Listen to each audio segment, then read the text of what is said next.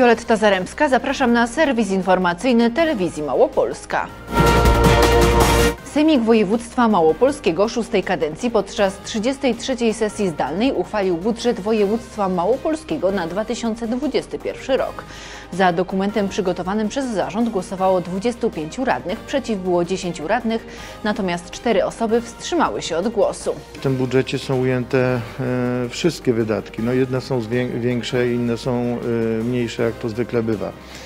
Jest faktem, że e, pośród wszystkich budżetów od 2014 roku budżet na rok 2021 e, ma najwyższy wskaźnik e, środków e, przeznaczonych na inwestycje, to jest około 47,1% budżetu całego. E, Wskaźnik procentowy był wyższy w 2017 roku, to było 53%, ale kwotowo rzecz ujmując, ten budżet będzie, będzie e, najwyższym budżetem, jeżeli chodzi o poziom e, inwestycji. To e, bardzo cieszy, bo my przyjęliśmy taką zasadę, że będziemy na tyle, na ile tylko możemy wspierać wychodzenie z recesji małopolskiej gospodarki w związku z tym jak to ciągle powtarzamy, każda złotówka inwestycyjna jest na wagę złota. W skali roku budżet jest najważniejszym dokumentem, który uchwala Sejmik Województwa Małopolskiego. W planie finansowym na kolejny rok kalendarzowy przewidziane są również środki na wychodzenie z kryzysu pandemicznego. W każdej chwili, jeżeli trzeba będzie przeznaczyć na obronę przed y, pandemią, to one w postaci tych rezerw są. Natomiast jeżeli nam sytuacja będzie się uspokajała, to oczywiście te środki będziemy przeznaczać na te zadania, które są e, sformułowane w planach, ale nie mają odzwierciedlenia e, w samym e, budżecie, czyli w planie finansowym. Dochody budżetu województwa małopolskiego na rok 2021 ustalono na kwotę ponad miliarda 700 milionów złotych.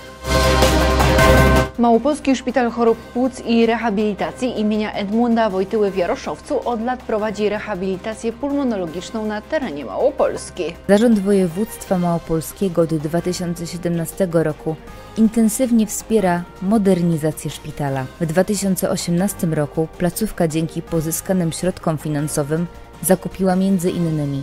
sprzęt do rehabilitacji oraz kryokomorę. W 2020 roku dokończono także remont oraz przebudowę przyszpitalnej oczyszczalni ścieków. W ostatnich trzech latach Zarząd Województwa Małopolskiego dosyć intensywnie mm, finansuje nasz e, szpital, za co jesteśmy ogromnie wdzięczni panu marszałkowi e, Kozłowskiemu, jak również panu marszałkowi Wito- Łukaszowi Smulce. E, Przede wszystkim można powiedzieć, że w tym czasie szpital uzyskał blisko 5,5 miliona złotych. Jest to, są to środki zarówno z budżetu województwa małopolskiego, również też budżetu wojewody. W ramach dalszej modernizacji szpitala na dachu pawilonu Gruźlicy zainstalowano lampy z UV, zakupiono łóżka, nową kostkę brukową. Odnowiono również taras, odzwierciedlający modernizm Polski według projektu Jana Koszyca-Witkiewicza.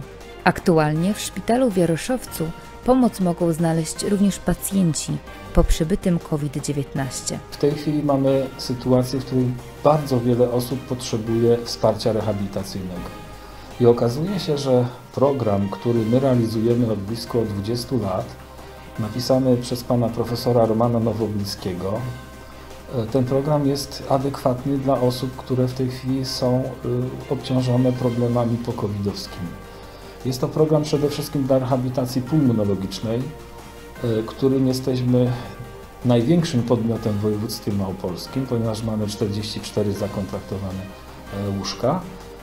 Jesteśmy jednym z trzech największych ośrodków w Polsce w tym zakresie. Ozdrowieńcy zmagają się niejednokrotnie z powikłaniami pochorobowymi. Rehabilitacja pokowidowa oparta jest głównie na ćwiczeniach ogólnokondycyjnych oraz usprawniających. Ta choroba nie ogranicza się tylko do stricte do samych płuc.